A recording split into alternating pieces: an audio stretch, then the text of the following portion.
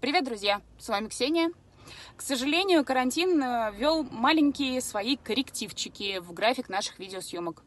И поэтому у нас не очень получается снимать все так, как нам хотелось бы, потому что мы не особо выбираемся куда-то из дома. Вот. По этой причине я хочу с вами поделиться видео, которое было сделано в режиме онлайн в моем инстаграме. И да, видео качество там не очень классное, но тем не менее это тоже неплохой вариант посмотреть то, что исчезло спустя 24 часа. Да, качество не огонь, потому что, к сожалению, делала я это все сама. Но, тем не менее, приятного просмотра и до встречи в эфире. Привет, привет. Давно не виделись с вами. В общем-то,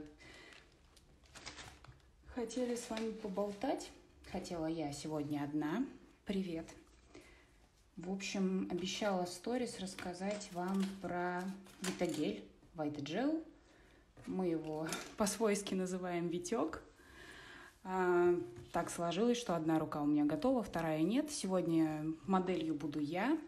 В общем, кто такой Витагель? У меня вот такой вот флакончик маленький еще остался в закромах. Один, наверное, из последних приобретенных мини-флаконов Витагеля. Что это такое? Это витаминизированный гель. А, звучит, конечно, странно, но вот если, как мы в химии, может вообще что-то находиться такое, но если приглядеться, наверное, так будет не видно. Вот видно на горловине белые всякие такие слизистые образования. Это витамин, который не смог с ним перемешаться. Так вот, собственно говоря, а, всем прекрасно известно, что чем ноготь не намажь, он, в принципе, ничего в себя не впитывает. Но так сложилось, что гель, который, в который, собственно, добавили витамин, он, э, в общем-то, может помочь самому ногтю немножко укрепиться. Безусловно, это такая типа косметическая процедура, но в чем прикол? Дело в том, что даже ноготь, который убитый и ничего на себе не держит, то есть когда уже все слои, которые способны закрепить на себе, на своей поверхности гелевые лаки и любые другие искусственные продукты, то есть уже когда все, ноготь уже не способен ни с чем состыковаться, только если совсем уже его разрушать, если нанести витагель, то как-то вот лучше начинает все держаться. Так вот, как это происходит? В целом, если посмотреть на ноготь э, через тот же самый микроскоп, то сама поверхность, она ребристая, ну, то есть как, как кратеры, да, такие, гористая местность. Так вот, вбивая витагель, его волокна, они утрамбовываются, а гель, естественно, не позволяет им никуда сбежать. И за дней 10-12 носки, в принципе, на это он рассчитан – они там остаются. То есть при растворении ничего не убивается. Мне витагель, в принципе, как человеку, которого ногтями можно болты заворачивать, не нужен для укрепления, я его использую для других целей. Мне нравится, что он офигенно растворяется. То есть вот прям супер быстро. И так как самостоятельно снимать себе ногти, я думаю, все понимают, что вообще глобальное мучение – то в данном случае это, конечно, вообще прям супер средство. Так что сегодня я буду работать с ним. В общем-то, ногти у меня уже отсутствуют, я имею в виду покрытие, потому что я снимала пару видосов для, ну, в общем, для использования дальнейшего и требовалось снять и сделать на видео. В общем, вот таким образом это происходит. Естественно, когда мы удаляем гель, вот эти вот штуки, они уже утрамбовались в ногте, ну, штуки, витамины. Сори, уже вечер, немножко подустала. Дистанционное обучение ребенка дает о себе знать. Итак, а, подготовка ногтя. Что буду делать? Ну, для начала, естественно, подниму кутикулу, уберу все, что наросло, все, что мне мешается.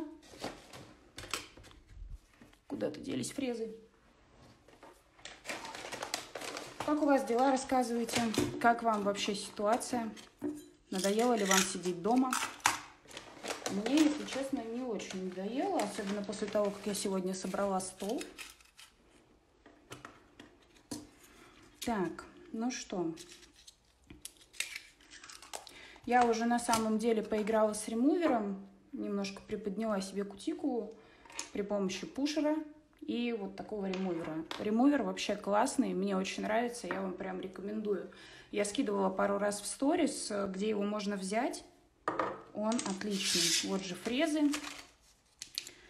Фрезы, которыми я пилю сама себя, естественно, безопасные, потому что тут, как в той истории, сам себя не пощекотишь и сам себе больно не сделаешь. Вот такая вот тупоносик.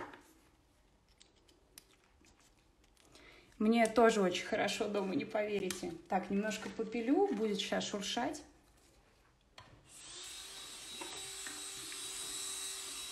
Ну, в общем, поднимаем, вычищаем. У меня кожа тугая, но несмотря на это, я использую красную фрезу. Одна рука у меня уже готова. Сегодня также, наверное, многие знают, что я не сильно люблю носить на себе дизайн, но ребята мне привезли пигментов. У меня куда-то подевались абсолютно все пигменты после переезда из предыдущего офиса. И мне привезли неоновые пигменты Love. Я сегодня с ними буду также играть. Я люблю все сыпучее. Это, наверное, от акриловой пудры остатки такой радости.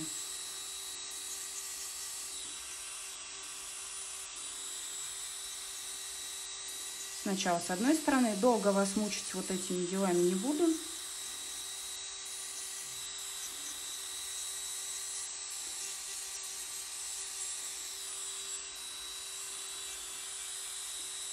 вечерело.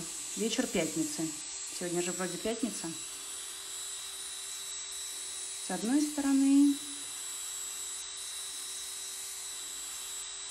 и с другой стороны. На себе я вообще не фанат глубокого маникюра по причине того, что у меня достаточно ярко выраженная лунка. Я думаю, всем понятно, что не стоит развлекаться очень усиленно.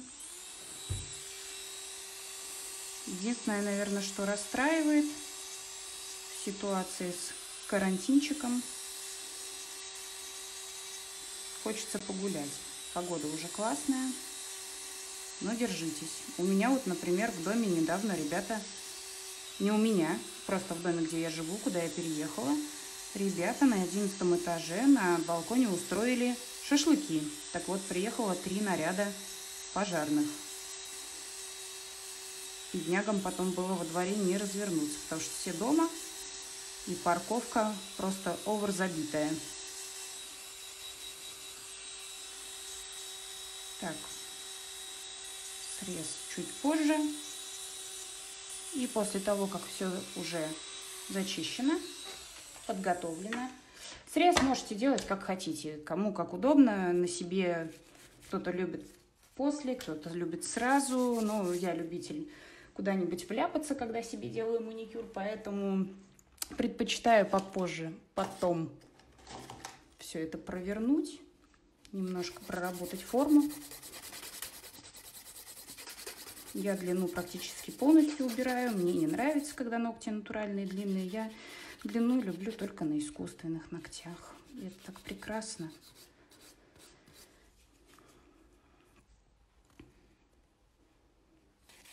Ну, прости, пожалуйста, Полинушка, без тебя, да, мне сложно. Я стараюсь как могу, но ничего не могу поделать. Тем не менее, спасибо тебе за держалку для телефона, потому что без нее я бы не знаю, что я сегодня делала. Я научусь. А, очень привыкаешь, когда всегда есть человек, который тебе помогает. Так, ну что, вот тут у меня как раз такая неплохая трещина. Я не знаю, насколько ее видно. Ну, я думаю, что видно.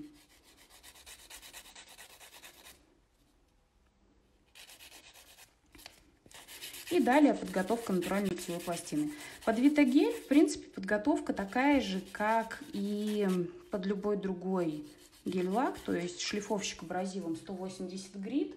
Но, честно признаюсь, э, вообще, вообще рекомендовано использовать шлифовщик 220 на 280. Вот как-то так. Хотя Это рекомендации производителя. Но все мы прекрасно знаем, что мы потом несколько по-другому работаем. Но меня, в принципе, это устраивает. Я с гель-лаком больше, чем полторы недели не хожу. Для меня это уже трагедия. Я начинаю вообще плакать, бить ножками по полу, потому что я не представляю, как можно ходить больше двух недель. Легкими движениями убираем глянец.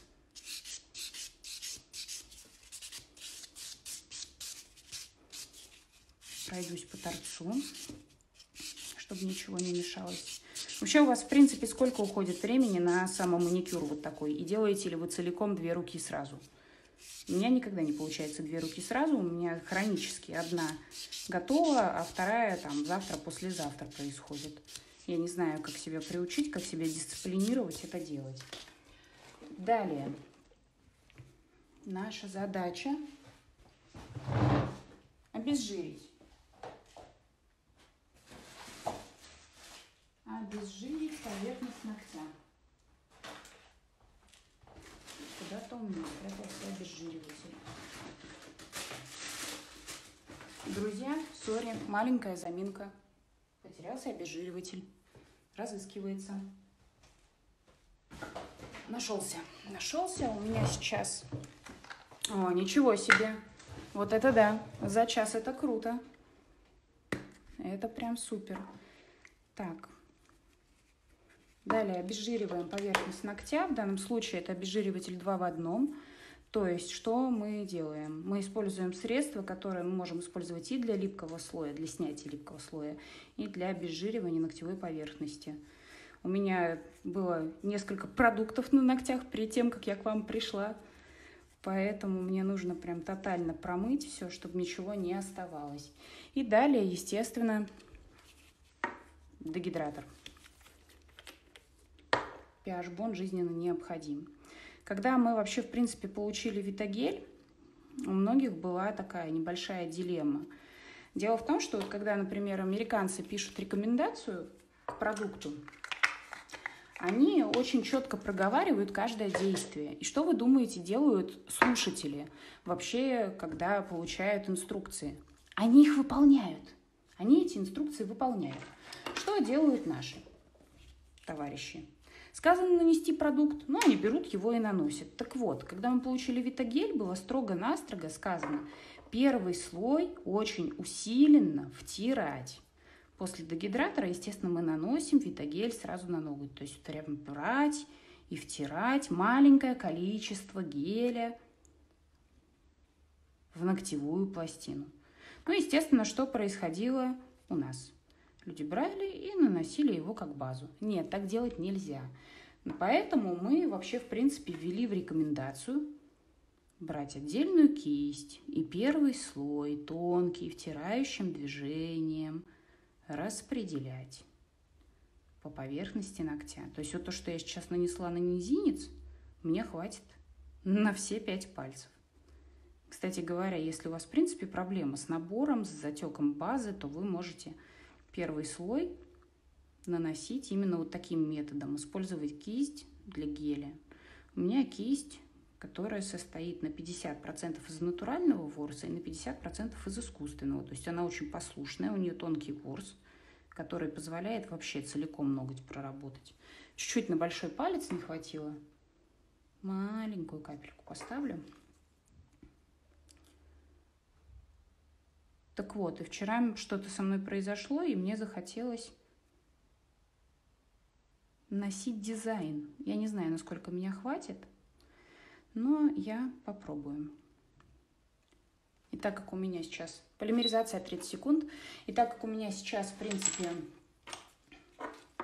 на руках будет витагель, я потом спокойно его сниму. Что у меня будет дальше? После всего этого дела. Так как самому себе не нарисуешь правую руку, я буду использовать вот это вот дело. Сейчас очень много кто полюбил, в принципе, стемпинг. Ну, и я, в общем-то, с этими людьми абсолютно согласна. Далее. Витагель наносится в два слоя. То есть первый мы вбили отдельно кистью, и второй уже можно наносить абсолютно спокойно. Для чего нужен второй слой? На случай, если у вас остались какие-то пробелы, какие-то кратеры, если где-то материал отсутствует. В принципе, если есть необходимость, им можно что-то и подвыровнять. Но у меня вот, например, свои ногти и так выпуклые. Если я еще что-то буду выравнивать, то у меня вообще просто невероятный объем получится. Я вот такое не очень люблю. Ну, тут каждому свое. Единственное, что там, где у меня вот есть трещинка, я ее немножко поактивнее заделаю. Так. Вторым слоем уже не дохожу до кутикулы, отступ там буквально 0,5 миллиметра чтобы был плавный подъем, потому что тоже отрастать это все должно более-менее симпатично, а то через три дня мне уже станет плохо, если я увижу какую-то ступеньку или что-то будет цепляться. Я тот самый ужасный клиент, который в процессе маникюра может сказать, нет, мне, пожалуй, цвет не нравится, верните мне черный, а если еще и отрастать будет, ну так себе, я вообще с ума сойду. Я не представляю, как они бедненькие сейчас сидят и ждут. Одна мне даже сегодня позвонила, ну, а вдруг все-таки, хотя знаешь что, ничего не выйдет.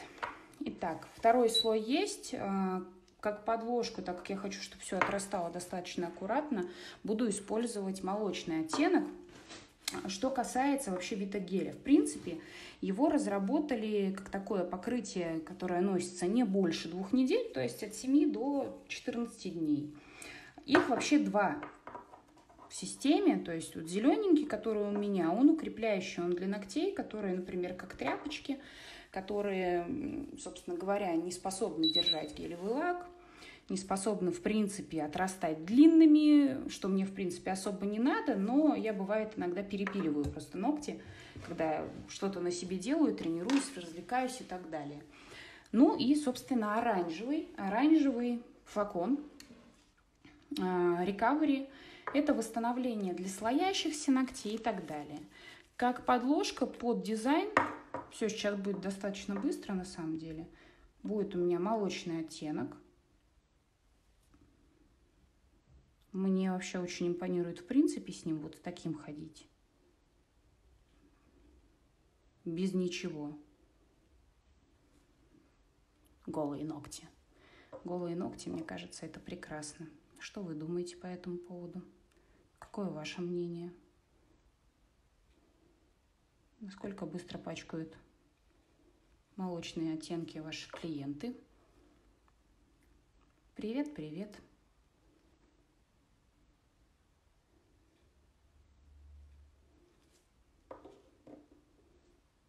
Мне тут одна моя коллега рассказывала, что когда смотрела чей-то прямой эфир, говорит, так раздражает, когда люди начинают здороваться в прямом эфире. Она говорит, а с другой стороны, вот я потом прислала тоже привет, а со мной не поздоровался человек, который вел эфир. И мне стало, говорит, обидно. Это очень занятно. Так, ну что, и последний. Вы, кстати, когда себе покрываете, сколько пальцев покрываете? По одному или все сразу? Вы такие же лентяи, как я, и работаете на все пальчики или все-таки по одному. Так, ну что, цвет тоже готов. И дальше уже буду работать со стемпингом. Собственно, силикон. То, чем буду рисовать. Скребочек и пигменты. Уже как-то хочется лето с такой погодой. Хочется чего-то яркого. Так. У меня сейчас остается липкий слой. Я снимать его не буду. Как-то тут очень мало. Привет! Вот этот фиолетовый вообще кайф. Люблю сочетание этих оттенков, но и зелененький. Мне кажется, прекрасное вообще сочетание фиолетового и зеленого. Ну вот, что я и говорила, какая молодец, взяла и убрала волосы. В общем-то, что любят делать наши клиенты. Я не помню, что у меня было на другой руке. Так, по-моему, вот этот. Мне кажется, это был он. Итак, поехали.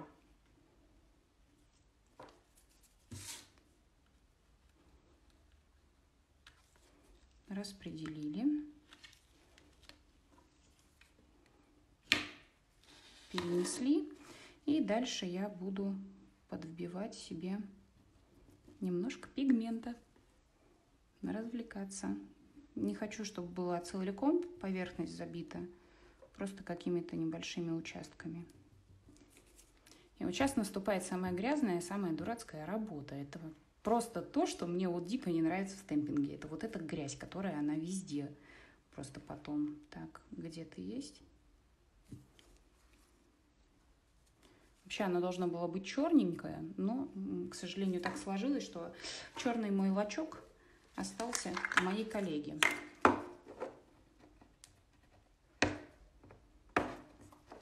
Так что, пожалуй, будет зелененький. Сняли и по новой. Любите с пигментами баловаться? Что вы про них думаете?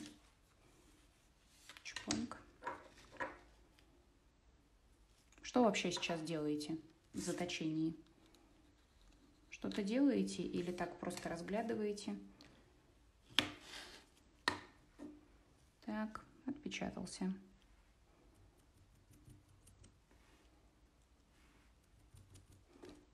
Фиолетовый с желтым вообще кайф.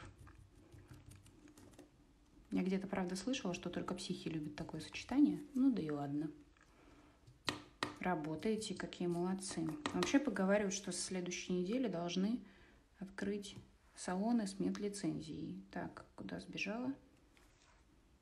Добили. Зеленым, конечно, это все не так здорово смотрится, как значит с черным. Ну, значит, будет матовое. Пигменты вообще кайфовые, очень насыщенные. Если хочется поярче, можно все это делать на белый вообще цвет, в принципе.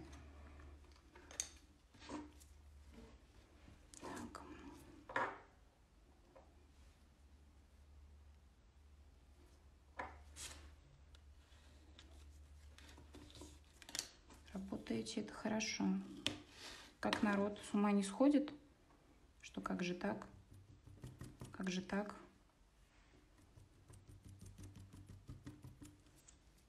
Когда нельзя, а все есть. А, да, это я. Я и не он. Так случилось. Так получилось. Ничего не поделаешь.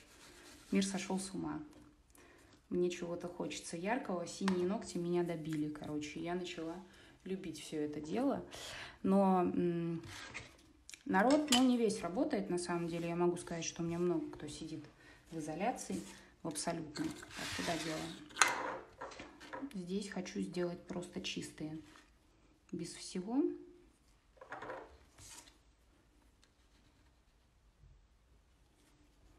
Не знаю. У меня очень большое количество людей не работает в принципе сейчас.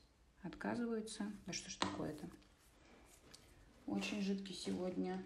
Я взяла себе молочный, поэтому если у вас произошел такой маленький факап, можно просто снять липкий слой и проверяйте, пожалуйста, то, с чем вы работаете. Чпоньк.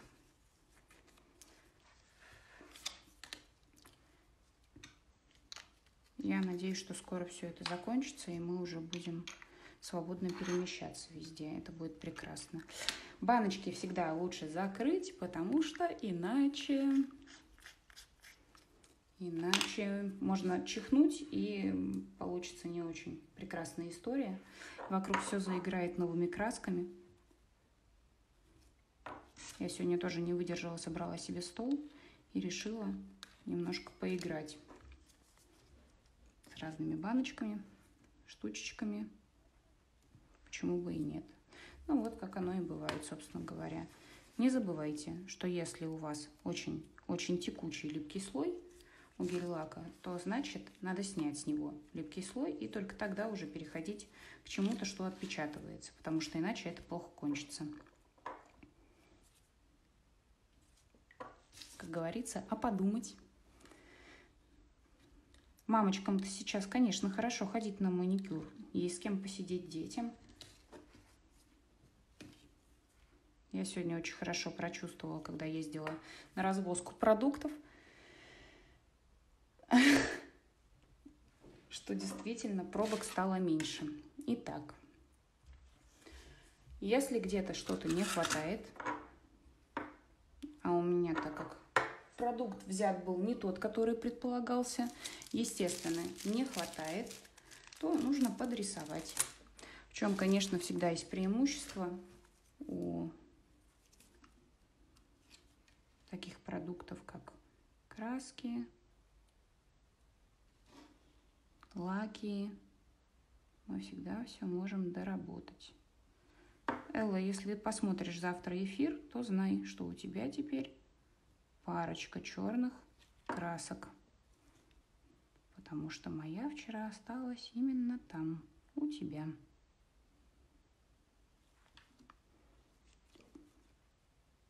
Я очень не люблю, когда дизайн не доходит до края, потому что такое ощущение сразу получается, что он буквально висит в воздухе, а это не очень здорово.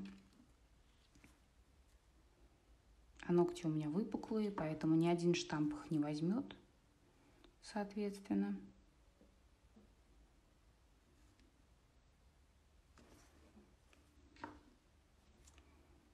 Так совершенно не так, как предполагалось. Ну и хорошо, что внутри у меня витагель, который быстро растворится. Так что неделю я побалуюсь. Сейчас я покажу вторую руку, с которой все хорошо. На этот раз правая рука будет выглядеть лучше, чем левая. Мне кажется, это вообще победа. Так, все, все это сохнет. Пока все это сохнет, я покажу, что должно было случиться.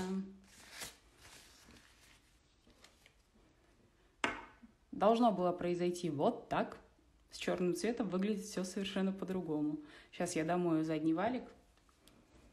Здравствуйте, здравствуйте. Вы присоединяетесь, а мы уже заканчиваем немножко. И перекрою все это верхним покрытием. Думаю, даже пускай это будет матовое покрытие, почему бы и нет. Здравствуй, Симферополь. Симферополь, ты прекрасен. Как ваши дела там? У вас уже, наверное, тепло, хорошо. У нас тоже неплохо, но у вас очень хорошо.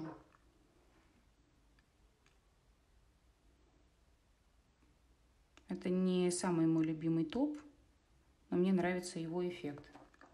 Банка безымянная пока что. Пока что безымянная, потому что я ее смотрю и думаю, а надо ли вам потом будет про нее рассказывать. Естественно, рассказать вам про нее я смогу, только проверив ее на себе. А потом еще, если все-таки на мне она тест выдержит на людях, и только потом, может быть, я вам про нее расскажу. Потому что рассказывать про то, что не здорово, не стоит. Так, ну что, зеленый, ты меня расстроил. Какой матовый топ любимый? Если честно, нет у меня особо матовых топов любимых, потому что эффект, который от них хочется, обычно в тех банках, которые мне по составу не очень нравятся. Вот как-то так. А из глянцевых мне нравится, ну, джелиш, само собой, разумеется, потому что он супер блестящий. Если говорить про безлипкого слоя, ну, Dry Armor неплохой, но у меня всегда к нему были вопросы. Хотя он меня радует. Радует тем, что он стабилен. А, мне нравится X-Top от Ingarden. Он, конечно, вообще кайфовый. И так, минуту тебе надо сушить. И в целом неплохой IBD. Вот прям правда неплохой, но прям покупать-покупать в больших количествах не стала бы. Икстоп прям беру спокойно сейчас. Вот вообще он мне нравится в плане глянца, в плане консистенции. Если что-то где-то подзакрепить, нет. М-м. С ним это не получится. Икстоп кайфовый. Я, кстати, тестила его на белом гель-лаке. Мне очень понравилось то, что 9 моих пальцев остались без пигментации. Ну, то есть 9, естественно, потому что указательный палец я просто спилила. Так, сейчас я отмоюсь и покажу обе руки. как оно планируется и как оно бывает. Джелиш, да, я тоже берегу, но у меня еще флаконов, наверное, 8 заначки есть. Знаете, я из тех э, людей, которые как бы боятся, что им никогда ничего не хватит. Поэтому закупаю всегда много всего. У меня тут была прекрасная история с тем, как я, я переехала недавно из старой квартиры в новую, а у меня дома тоже, в принципе, все есть. И вот у меня э, хранится в старой квартире такой чемодан, ну, в котором типа то, что в очень большом количестве, и то, что не надо. Вот, когда я приехала в старую квартиру, так, посмотреть, что там есть из вещичек, и открыла этот чемодан, знаете, что я там нашла? Семь упаковок масок по 100 штук.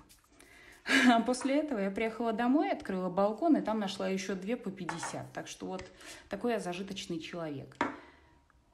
В общем, вот она небольшая разница. Матовый глянцевый, темно-зеленый и черный. В целом и тот, и другой выглядят неплохо. Но с черным, мне кажется, кайфовее. Хотя матовый немножко спас ситуацию. Но я думаю, что с этими двумя я еще что-нибудь придумаю.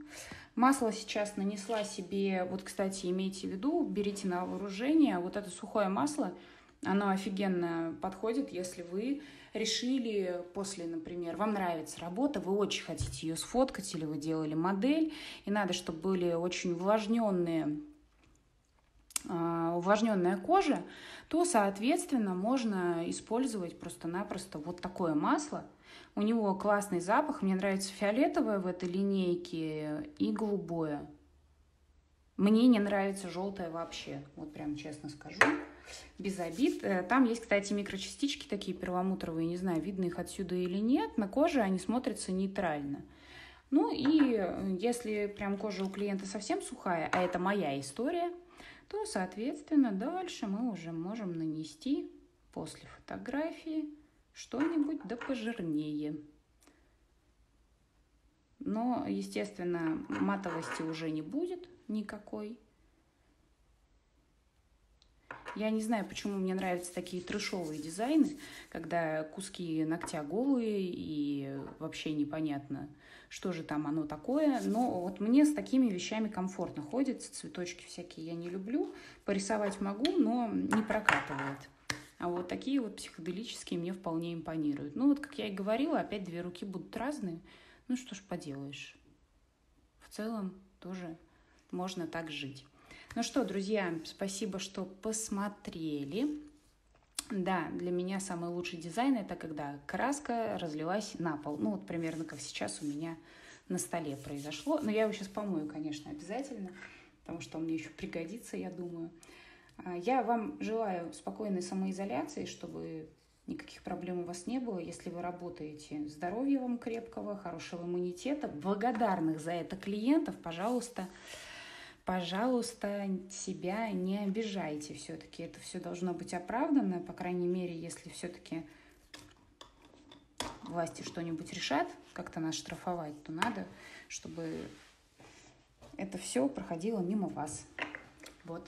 Хорошего вам вечера, прекрасных выходных, продолжительных и легкого обучения дистанционного, потому что я переживаю легкий стресс. Во вторник переживала, сейчас уже не переживаю. Все, всем пока-пока.